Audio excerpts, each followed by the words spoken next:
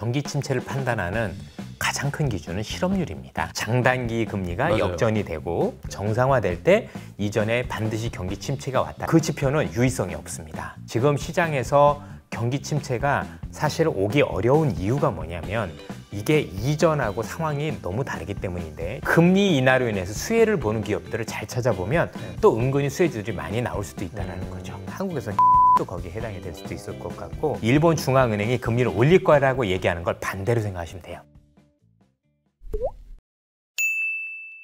추석 연휴를 맞은 머니올라 구독자 여러분 안녕하십니까?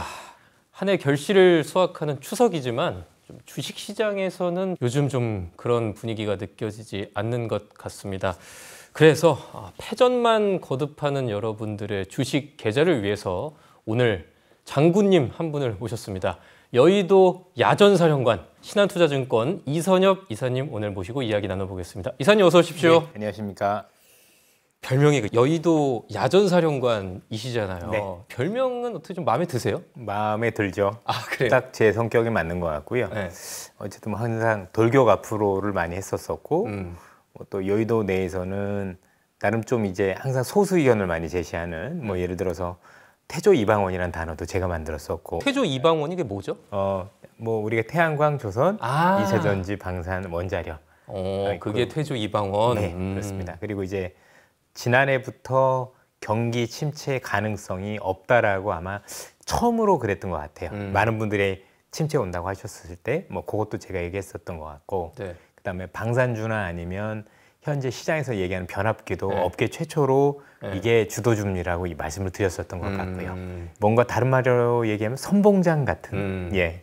그래서 조금 이제 용감하게 어. 돌진하는 그런 사람이라고 보시면 될 것 같아요. 어, 먼저 좀 영토를 개척해 나가는 예. 사실 좀 이렇게 이사님께서 좀 외모가 좀 선이 굵으셔서 기갑 사단장 같은 느낌이 나는데 실제로 얘기를 나눠보면 덕장, 약간 지장 아유, 별 같은 좀 느낌이. 나고 예, 예. 그렇습니다. 그 오늘 또 이야기 나눌 게 많아서 바로 좀 본론으로 들어가려고 예. 하는데 일단 그 미국 8월 CPI가 나왔습니다. 예. 이제 1년 전보다 2.5% 늘어난 것으로 나타났는데 이게 3년 반 만에 또 최저치가 나오다 보니까 예. 아무래도 좀 시장에서는 좀 물가가 많이 안정됐으니까 비컷하지는 않을 것 같다. 0.5% 포인트 내린다는 시각도 있었는데 그냥 이제 0.25% 포인트만 내리지 않겠느냐. 좀 이런 시각들이 좀 많은 것 같습니다. 음. 네. 이사님께서는 어떻게 보세요? 어, 0.25가 시장에 더 긍정적일 가능성이 높다라고 보고 실제 0.5로 일부러 가지는 않을 것 같습니다.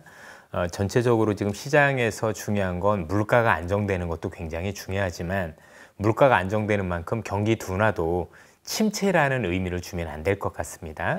근데 현재 시- 실체 침체도 아닌 거고 그렇게 놓고 봤었을 때는 0.25가 좀 더 적당하다 이렇게 보시면 될 것 같고 가장 중요한 부분은 2%대 진입했다라는 게 핵심적인 내용이 될 수가 있을 것 같습니다. 물론 그 안에서 이번 같은 경우에 이제 주거비가 조금 올랐다 이런 얘기도 있지만 주거비 안에서도 보면 여러 가지 항목들 중에서 어, 7, 8월이 아시겠지만 이번에 그 흔히 얘기하는 바캉스 시절이잖아요. 그래서 그렇죠. 호텔 비용이 굉장히 많이 올랐어요. 아, 호텔비가 주거비로 들어가요? 예, 따로 있습니다. 그래서 음. 보통 이제 우리가 하는 렌트비라는 게 따로 있고요.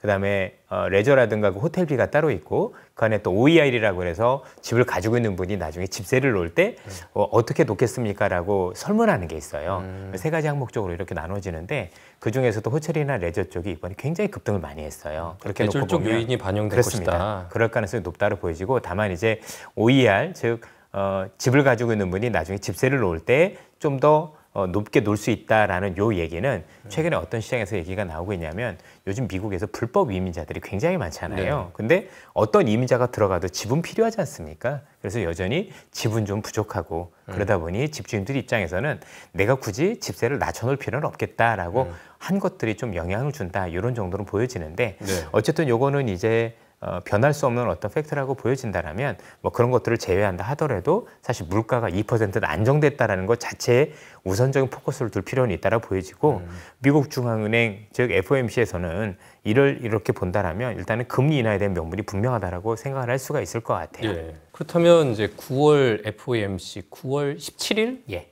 우리 추석 연휴 거의 막바지에 예. 열리게 되는데 시장에서 궁금해하는 건 이 부분인 것 같습니다.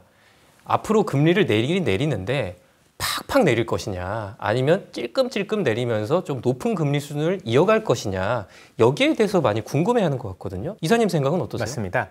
제일 중요한 건 종착역이죠. 네. 왜냐하면 이 금리 내린다라는 것 자체가 시장의 중요한 시그널인 게 뭐냐면 금리를 얼마만큼 내릴 거냐가 연준이 바라보는 경기관이라고 볼 수가 있는 거죠. 예를 들어서 우리가 보통 어, 금리를 내릴 때 두 가지 케이스가 있는데 하나는 경기가 너무 안 좋아서 거의 제로 수준까지 그렇죠? 지속적으로 이제 한 번에 쭉 내리는 그런 케이스가 있고 또는 경기 침체는 아닌데 현재 금리 레벨이 너무 높아서 와 이 정도면 경기가 나쁜 건 아니지만 거의 목을 조이고 있어서 정말 이것 때문에 오히려 경기가 나빠질 수 있겠다라고 해서 금리 레벨을 금리 현재는 5.5%잖아요. 5.25에서 5.5% 요거를 이제 정상 수준까지 정상 수준으로 하면 물가를 감안했을 때 네. 물가를 조금 옥죄는 수준. 예컨대 지금 물가가 2.5%니까 여기서 약 1% 정도만 올리면 적정 수준이라고 보거든요. 그럼 지금 중립금리 그렇습니다. 수준인가요? 그러면 지금 5.5니까 한 3.5 정도까지 내려줘야 정상 수준이 아니냐.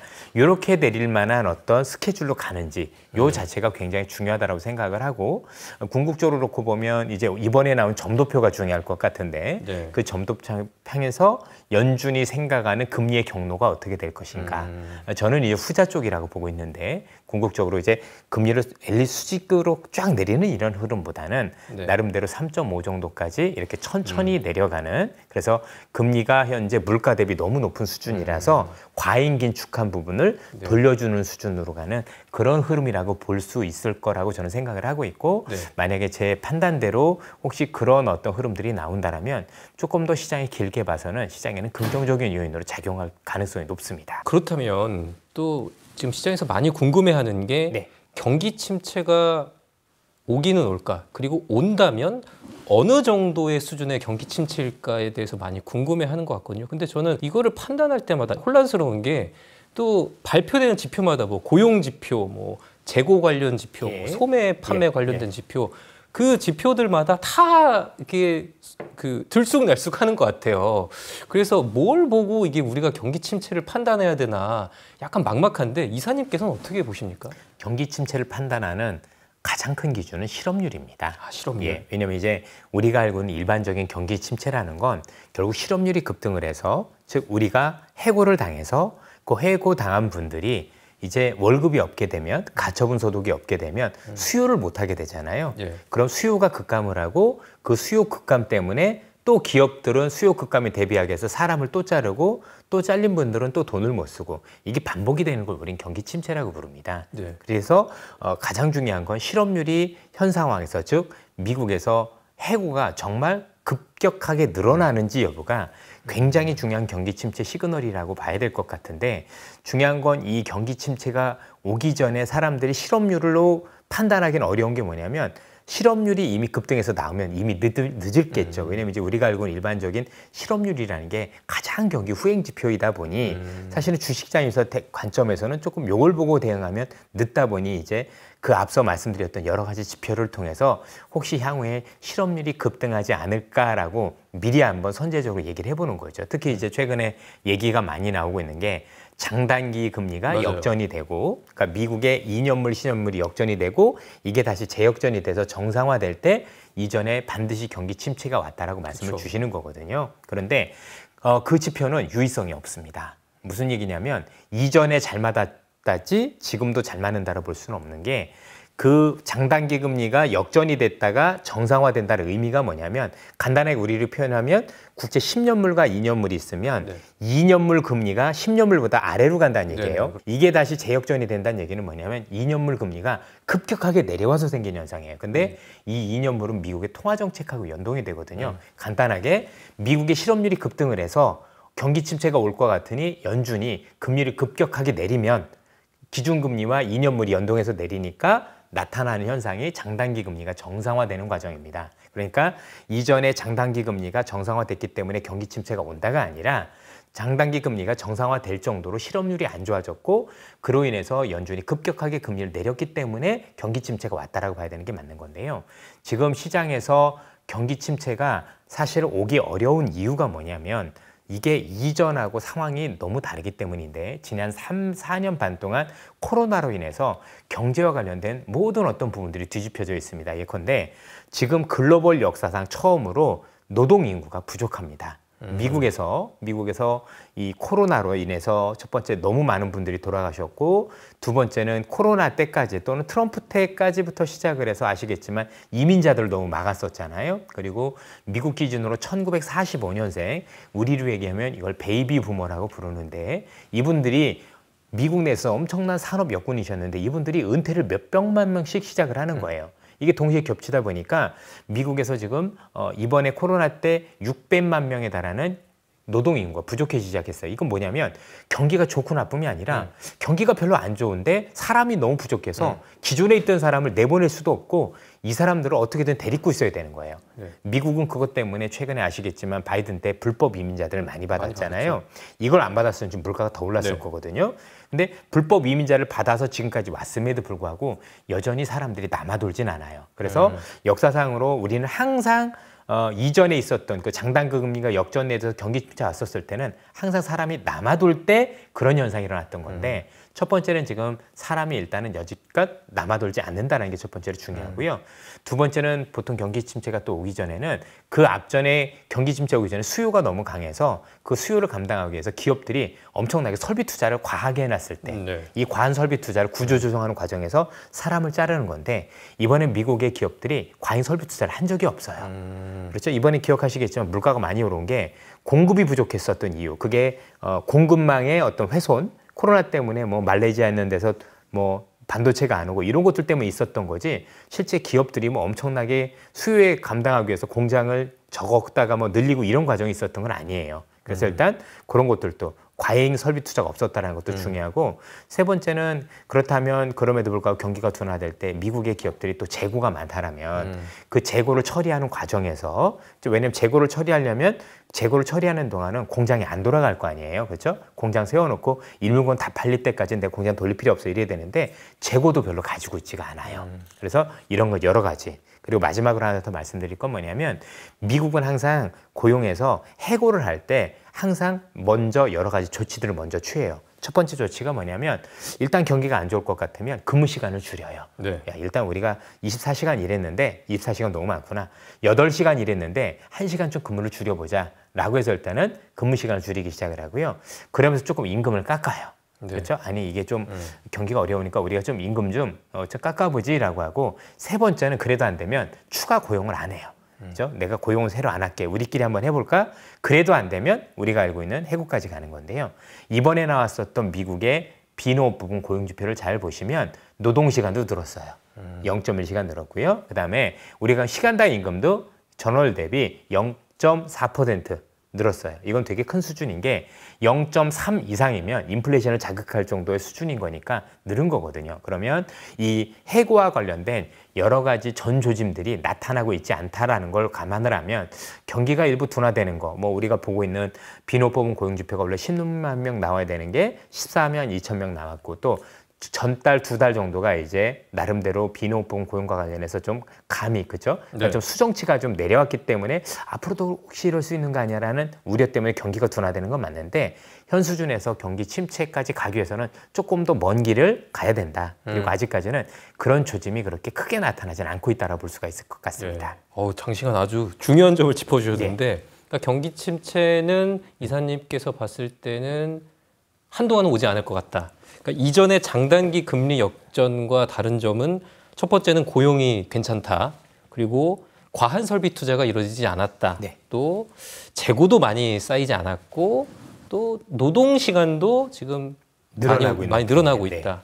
이렇게 좀 요약을 해볼 수 있을 것 같은데 하지만 뭐 반대로 얘기하자면 제가 지금 알기로 실업률이 한 4.2% 정도 미국이 4.2%죠. 나오고 있는 걸로 알거든요. 그렇다면 이사님께서 보시기에는 이게 그렇게 걱정할 만한 수준의 실업률은 아니다라는 4.5가 자연 실업률이에요. 음 4.2면 완벽한 실업, 완벽한 고용이에요.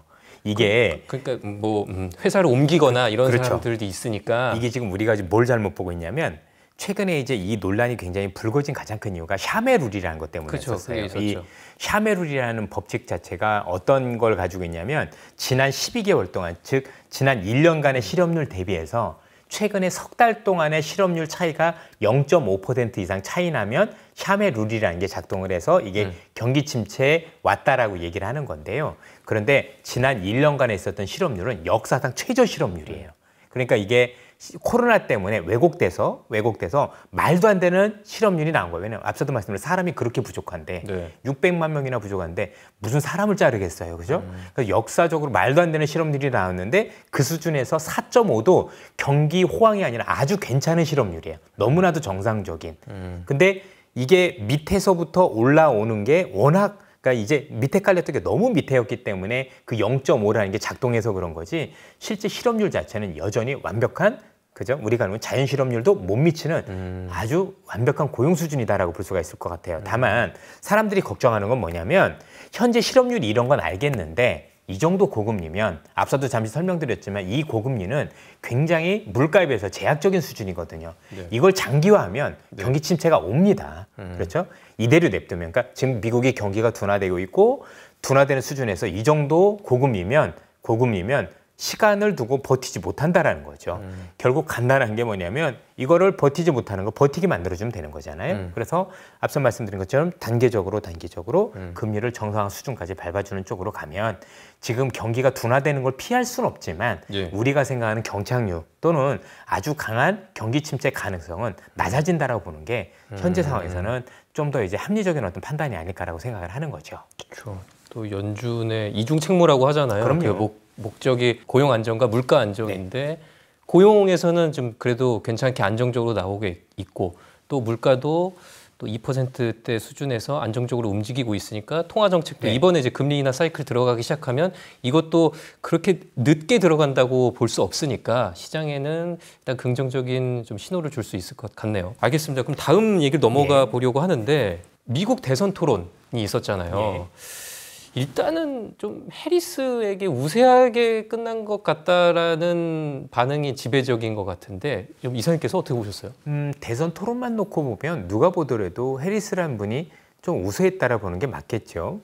그런데 잘 생각해 보면 트럼프라는 분이 밀린 거냐가 아니라 제가 보기엔 해리스라는 분이 잘했다라는 게 더 맞는 것 같아요. 왜냐하면 저는 이 트럼프란 분을 제가 애널리스트 시점부터 뭐 한두 번 본 게 아닌데 바뀐 게 없어요.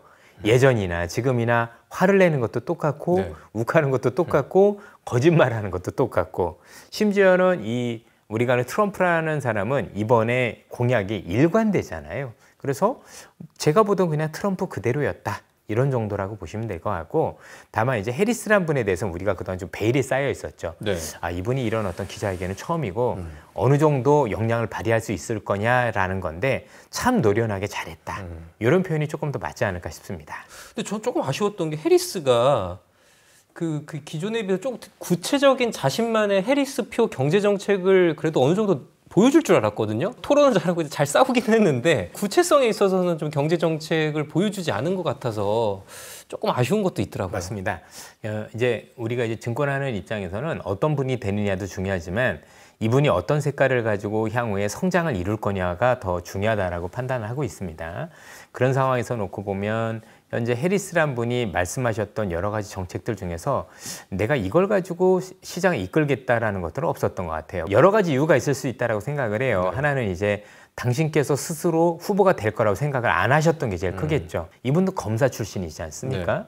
검사 출신이시면 사실 경제에 대해서 그렇게 잘 안다라고 말씀드리긴 굉장히 어렵지 않느냐. 다만 이제 몇 가지 정책이 나온 걸 보면 어, 미국에서 주택 300만 호를 짓겠다라고 말씀하신 부분들에 대해서는 우리가 일단은 바- 살펴볼 필요가 있겠죠. 성장 정책은 아니지만 수혜주들은 있을 수 있으니까 음. 그런 측면에서 바라볼 수 있을 거라고 생각을 하고 아무래도 어, 또 여러 가지 면에서 또 이분은 좀 규제가 좀 많으시잖아요. 일단 네. 세금도 많이 거둘 거고 부자 증세도 굉장히 크고 네.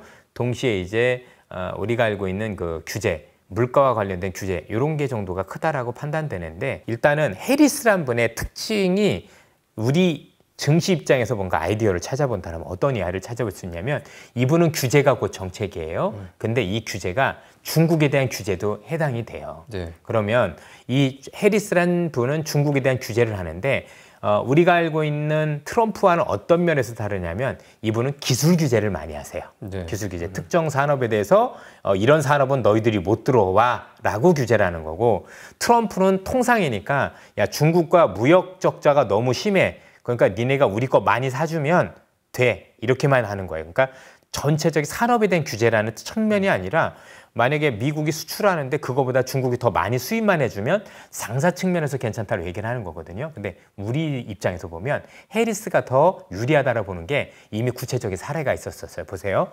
바이든 대통령 때 IRA를 통해서 중국의 전기차를 규제해줘서 우리 배터리가 되게 좋았잖아요. 네. 그렇죠?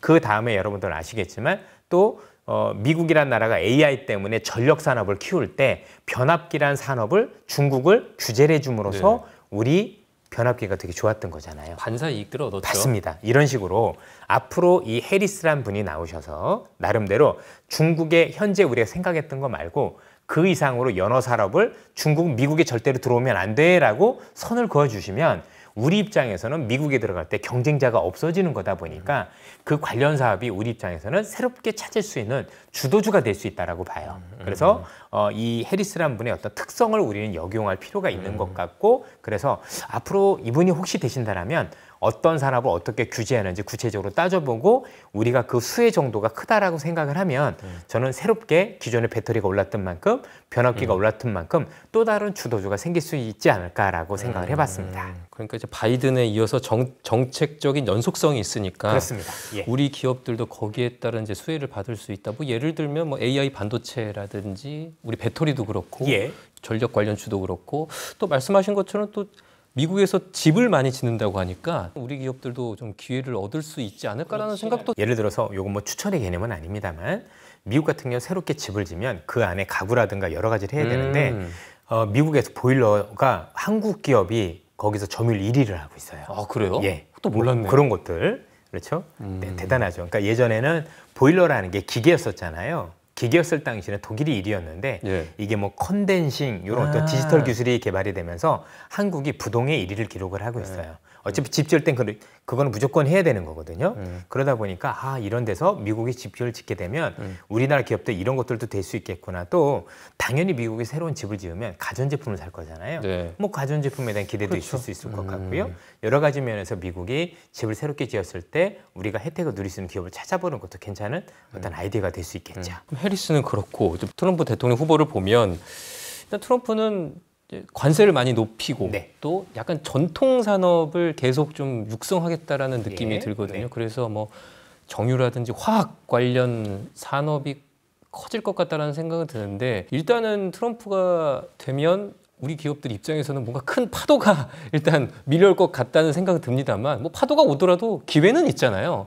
그 이사님께서는 어떻게 보십니까? 우선 이제 가장 중요한 건 기존에 있었던 전통 에너지와 관련된 채굴에 대해서 규제를 완화하는 게 가장 큰 에너지 사업의 핵심이라고 볼 수 있는데 이런 산업들을 하게 되면 어, 우선 가장 좋은 것들은 뭐냐면 에너지 가격이 많이 떨어져요. 그러니까 에너지에 대한 공급이 늘어난다는 비용이 되는 거고 트럼프의 궁극적인 생각이 뭐냐면 미국이 가장 어, 제조업을 하기 좋은 국가를 만들겠다. 그러기 위해서 전기료를 제일 싸게 공급을 해주겠다라는 게 모토가 돼요. 그러면 지금 전기료 때문에 제일 골머리 앓는 산업이 있죠. AI 산업에서. 네. 그렇죠? 오히려 AI가 굉장히 크게 각광을 받을 수 있는 개연성이 있다고 보여지고요. 또 하나는 어쨌든 간에 이걸로 인해서 제가 볼 때는 이 국제 유가가 최소한 15달러 이상은 하락을 할 것 같거든요. 그러면 그럼 여기서 우리는 두 가지를 생각할 수 있어요. 국제 유가가 내려갔을 때 좋아지는 기업들이 있겠죠. 예를 들면 우리 우리나라에서 수출주들. 항공주들 네. 그렇죠? 항공주들 굉장히 크고 아니면 택배 관련 네. 운송 기업들이라든가 이런 기업들 입장에서는 굉장히 좀 긍정적일 수 있다 이렇게 봐야 될 것 같고요. 두 번째는 이거에 대한 파생 효과가 있어요. 그렇게 되면 물가가 생각보다 더 떨어져요. 그렇죠. 그러면 아까 제가 말씀드렸던 연준이 중립금리까지 떨어뜨린다고 했는데 요거보다 조금 또 또 또 떨어뜨릴 수 있는 여유가 돼요. 그럼 우리가 생각했던 것보다 금리 인하로 인해서 수혜를 보는 기업들을 잘 찾아보면 또 은근히 수혜주들이 많이 나올 수도 있다라는 거죠. 음, 어떤 업종들이 있을까요? 어, 예를 들면 금리 때문에 우리나라 입장에서는 그다음 금리 때문에 내수 이런 것들이 죽었다라면 한국에서는 게임주도 거기에 해당이 될 수도 있을 것 어, 같고 게임. 예 은근히 생각보다 많은 기업들이 나타날 수도 있겠다 그리고 우리나라 내수 기업들 대부분 지금 너무 어려워져 있지 않습니까 현재보다 조금 더 좋은 그림을 그릴 수 있을 것 같습니다 음, 알겠습니다. 자, 아, 미국 얘기는 일단 여기까지 하고 중국 얘기를 해보고 여쭤보고 싶은데 이사님께서 그 정기적으로 중국에 다녀오시잖아. 최근에는 언제 다녀오셨습니까? 어, 지금 3주 돼 갔습니다. 한 석 달간에 네 번 다녀왔으니까 어. 꽤 많이 다녀온 거죠. 예. 그러니까 중국이 참 디플레이션이 계속 좀 길게 예. 좀 심하게 이어지고 있는데 어떻습니까 현지에서 보셨을 때?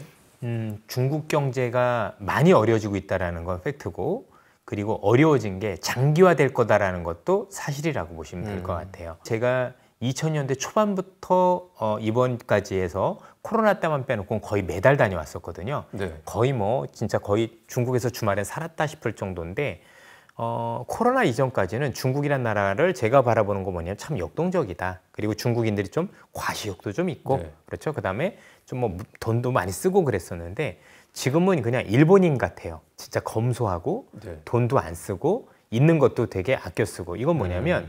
중국인들 스스로 이 경기 침체가 굉장히 장기화될 거라는 걸 이미 알고 있는 거고 거기에 적응해 나가는 과정이 있다라고 보시면 될 것 같아요. 일단 이렇게 말씀드리면 쉬운데 어느 국가든 부동산이 망가지는데 부동산이 망가져서 이 망가진 경우가 단기간에 해결된 경우는 없었었어요. 일본은 잃어버린 30년을 보냈고 미국도 2008년에 있었던 금융 위기가 사실 이걸 해결하는데 그렇게 돈 찍어냈는데도 불구하고 극복하는데 거의 10여 년의 시간이 걸렸다라고 보시면 되면 이게 이전만큼 정상화하는 데는 생각보다 오랜 시간이 걸릴 것 같다. 지금 안타깝게도 미중 간의 갈등도 있고 네. 또 중국의 어떤 정치 체제가 이전과는 좀 다르게 너무 보수적으로 변해가는 부분들도 회복에 걸림돌이 된다고 보면 그 시간은 예상보다도 더 길어질 수 있겠다고 보고 있습니다. 음. 그래서 지금 중국에 가보면 생각보다 돌파구가 많이 없다라고 생각을 하는 게 중국인들 좀 어떠냐면 여성분들이 화장을 안 해요. 어. 저는 중국 여성분들 그 20대 분들이 맨 얼굴로 다니는 거 저는 처음 봤어요.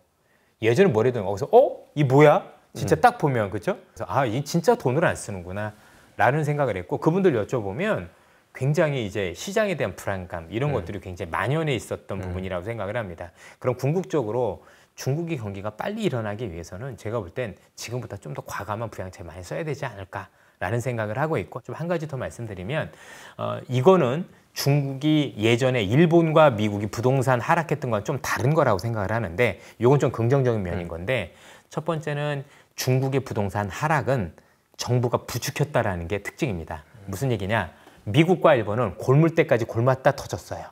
근데 중국은 그럴 것 같아서 정부가 먼저 터쳤어요. 그래서 위기의 정도가 작다라는 게 아니라 미국과 일본이 했던 것보다는 덜하다 정도로 보시면 되고요. 두 번째가 더 중요한데 미국과 일본은 부동산이 망가지면서 은행 시스템을 건드렸어요. 네. 은행들이 망하고 그러면서 이걸 우리는 유식하게 신용 경색이다라고 네네. 부르죠. 은행들이 망가지니까 시중에 돈을 유통해주는 기능들이 없어졌던 건데 지금 중국의 은행들은 건재해요. 그래서 이 두 가지를 보면 미국과 일본보다는 좀 정도가 덜 하지만 그래도 금융 위기 중에서 경제 위기 중에서 부동산이 다치는 게 제일 중상이거든요.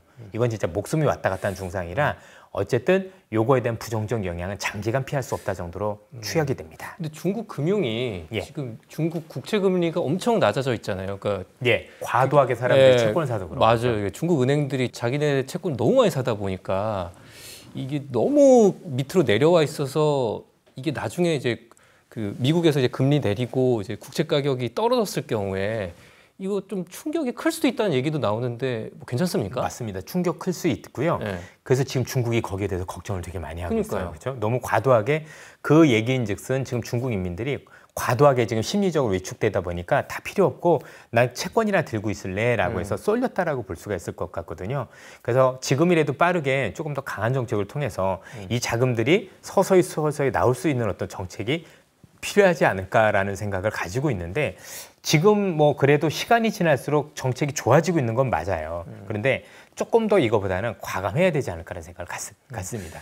중국은 하나만 더 여쭤볼게요. 예. 그래도 우리가 중국 경제를 또 관심 있게 보는 게 그리고 우리 바로 옆 나라에 우리나라의 중요한 어떤 소비를 네. 해주는 또 나라였잖아요. 그래서 사실 아까 저 화장품 얘기도 했습니다만 우리 또 중국의 화장품도 얼마나 많이 팔았습니까 옛날에. 그래서 우리가 중국에 음, 대한 의존도는 줄이고는 있지만 저쪽 경제가 너무 안 좋으니까 우리 기업들 입장에서도 걱정이 클 것 같은데 우리 기업들 입장에서 걱정할 건 없습니까? 이미 걱정들이 반영이 되기 시작을 했고요. 최근에 시장에서 삼성전자 급락도 그 영향도 꽤 있어요. 그래요. 중국 경제가 안 좋다 보면 네. 기존의 legacy 반도체라고 하잖아요. 네네네. HBM 말고 그 반도체에 영향이 있을 수밖에 없기 때문에 그렇습니다. 쓰니까, 그래서 예. 실제로 최근에 디램 가격이 많이 빠졌어요. 그런 영향. 왜냐면 이제 집이 되게 중요한 게 내가 이사를 가 아까도 말씀드렸지만 가전 제품도 바꾸고 하면서 가전에 뭐지 디램이 들어간 제품들의 수요가 일어나는 건데 그런 것들이 끊겼다라는 점에서 일단은 문제가 될 수도 있는 거고요. 두 번째는 중국이 단순히 경기가 안 좋으면 문제가 덜 돼요. 근데 중국이 경제가 안 좋은 상황에서 기존에 있었던 제조업을 너무 팽창시켜서 지금 모든 산업이 공급 과잉이에요. 괜히 알리테무를 통해서 그 싸구려 물건이 들어온 다른 게 나라로 다 아니거든요. 밀어내려고 네. 하는 거잖아요. 이게 이렇게 되면 그 친구들이 만약에 그 제품을 밀어내면 우리 기업들 같은 경우는 가격 경쟁력에서 밀리면서 사실 우리 기업들도 피해를 볼 수 있다는 점도 사실 부정적인 요인으로 작용을 한다는 점에서 굉장히 조금 이제 골머리가 아픈 그런 현상이라고 보셔야 될 것 같습니다. 그럼 중국 얘기 여기까지 하고 네. 마지막으로 좀 일본 좀 보고 싶은데 네. 일본은 하, 최근에 좀 8월 초였죠. 그 이제 금리 인상 갑자기 하면서 이제 엔케리 청산 불러오면서 한 번 또 급락했었잖아요. 네. 또 금리를 또 인상할 수 있다는 얘기를 좀 시사하면서 최근에 또 엔화 강세가 또 굉장히 심해졌습니다. 엔 달러 환율이 지금 140엔 초반대까지 내려갔죠. 1에서 2 왔다 갔다 예. 하고 있으니까 그 정도로 내려가는데 이거 일본 올해 안에 금리 인상이 또 이뤄질 거라고 보십니까? 이- 이거 이사님께서 어떻게 보세요? 어, 할 수도 있을 것 같은데 네. 어, 하는 게 최소화될 것 같다라고 말씀을 드리고 싶습니다. 어, 많은 분들이 이미 아시겠지만 일본 같은 경우는 급격하게 긴 금리 인상을 하기에 쉽지 않은 경제 환경을 가지고 있습니다.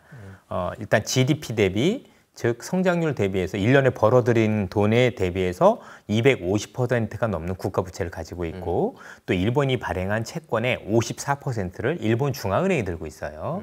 그러면 나중에 일본이라는 국가는 금리를 올렸을 때 그 올린 금리가 성장률보다 낮아야 돼요.